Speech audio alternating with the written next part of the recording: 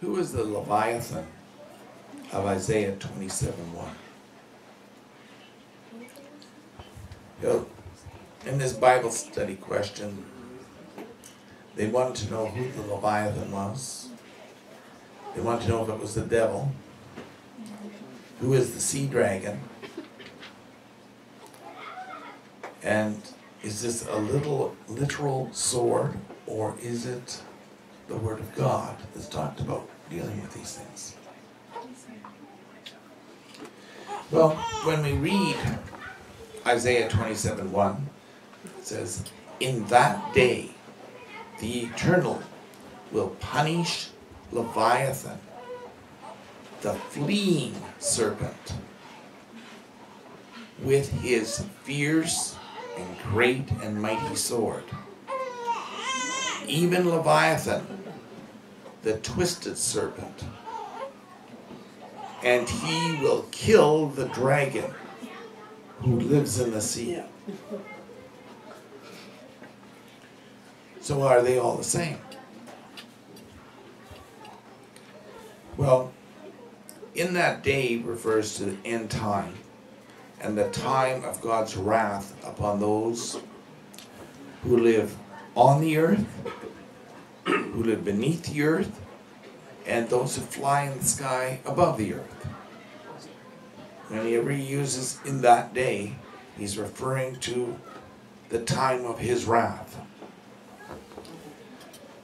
Now, the part of the verse that says, the eternal will punish Leviathan. Although some biblical scholars believe Leviathan to be a mythical creature or uh, a devil's avatar. We do not find any biblical evidence to support either of these hypotheses. The word Leviathan is uh, Lai in Hebrew. And it means uh, shall we say, a wreathed animal or a wreathed snake. Now you put a wreath on something that is of authority. A king wears a wreath, you know, things like that. It also refers to a GMA or GMO animal. GMA is genetically modified animal and GMO animal is the same thing. It refers to a very large sea monster.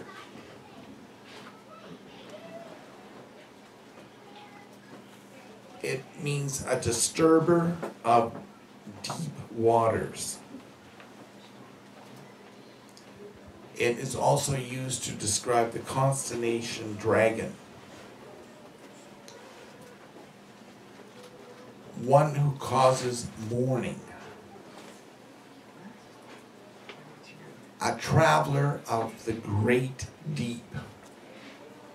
Something that can go five and six miles down into the ocean with no problem. The word implies a physical creature of great strength who dislikes the daylight and is capable of traveling at great depths in underground trenches, underground rivers and seas, or in the sea itself. And this is important to note because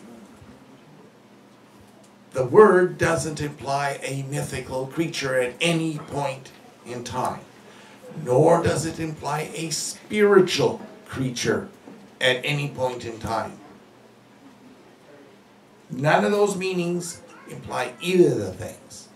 So the idea that the modern day scholars have that it is a mythical creature means that they've been smoking too much of something or other that wasn't so legal. Okay? And nowhere does it indicate that it's a demonic avatar. Okay? It just doesn't apply that. It applies a creature that is capable of reproducing.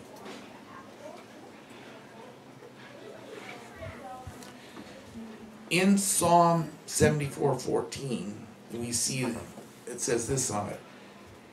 You did crush the heads of the leviathans. You did give him as food for the creatures of the wilderness. In some translations, it puts peoples of the wilderness. How many people here can eat spirits? Does it make a good meal? Anybody know how to do roasted spirits? It leaves you kind of empty How about roasted mythological mythological creatures? Okay, no? Diet food. That'd be severe diet food, yes. Yeah. And you'd have to be doing some pretty good hallucinating. The way Asaph wrote these scriptures, we see um, many-headed serpent. And if we look into the Indian religion, the East Indian religions, what do they have carved on their walls? A mm-hmm. many-headed serpent. Wow.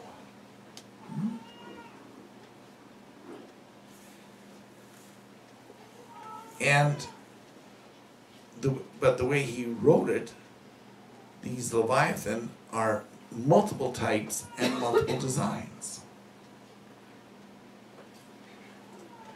Um, you look at fish, you can have a family of fish and they're different all the way along in the family. You can have, let's say, salmon of the west coast is different than salmon of the east coast. Okay. Arctic char is different than river char or silverhead char or but it's all part of the char family. And that's what this is implying that it's a family, a Genesis family name, not a particular one creature organi- organism. Yes. Even Hercules had fought the Hydra, which was a multi-headed dragon-like being that was out of mm-hmm. certain waters near Greece. Right. He's traveled the depths, great depths.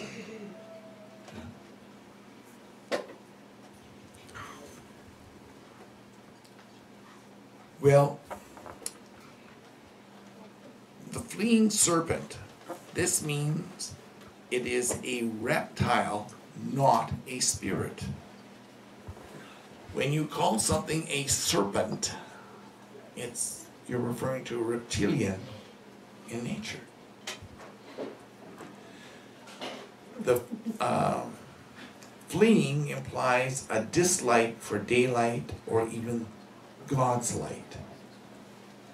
You know, it can't stand the light of day. It likes to travel in the dark.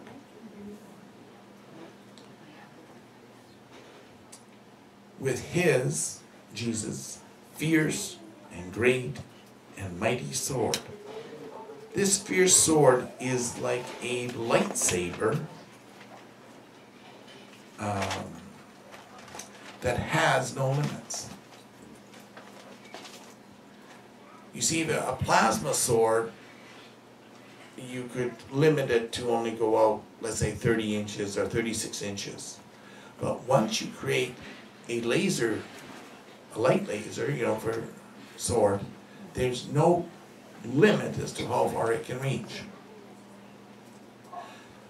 And that's what this is, why it's called a fierce sword. There's no limit as to how far out it can reach. Or through what it can cut through. A great and mighty sword indicates something that can cut through anything. It implies a sword that is controlled only by the very Word of God. not your emotions. Even uh, Leviathan, the twisted serpent, referring to another variety. This is referring to something that has gone through genetic manipulation or modifications. And something that has been used to destroy the work of God.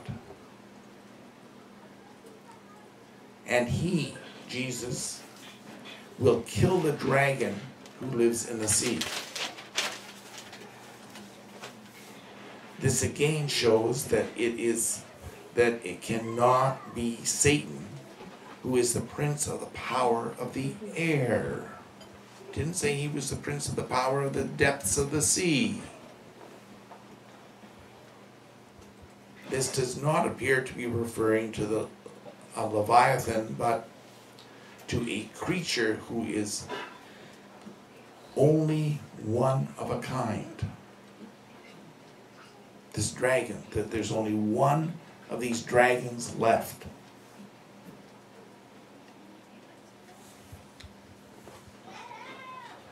Um, and it's kind of interesting with uh, what's that, uh, Tolkien on The Hobbit. In part two of The Hobbit, they go and they wake a dragon that's been asleep for 60 years. An ancient dragon. The last one on earth. And they need a special arrow to kill it. A magical arrow, arrow in, in effect. But he used stuff out of this to, when he wrote it, trying to mm. explain that there, what the dragon,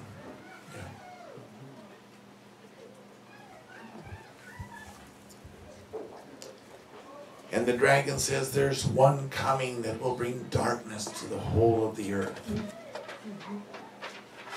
So could it be the same force? Could the dragon and the one that brings the darkness to the earth be this be the same thing if he's telling him that he just declared himself king under the mountain? King of the of the world.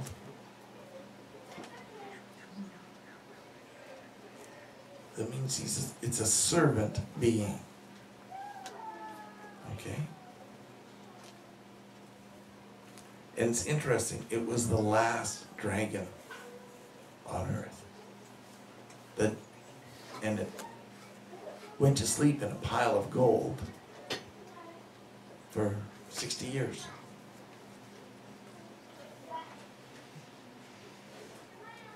And indications from its size and everything else that it was tens of thousands of years old.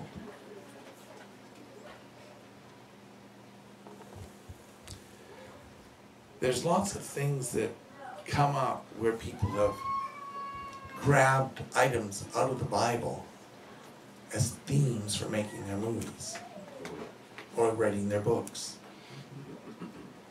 To make it easier to explain or to bring it so that you can have some life to what's being said there.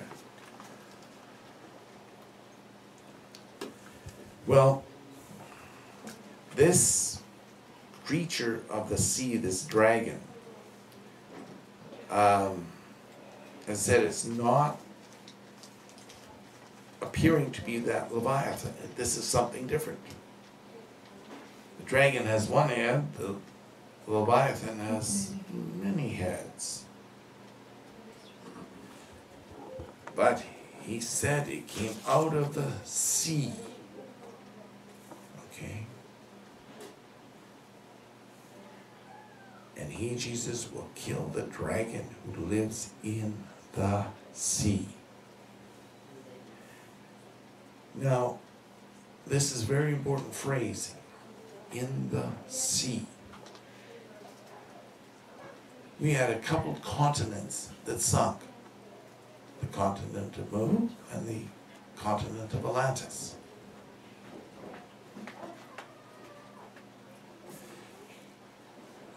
We know that the Lemurians built defenders, biological defenders of their continent to keep out the Atlantans.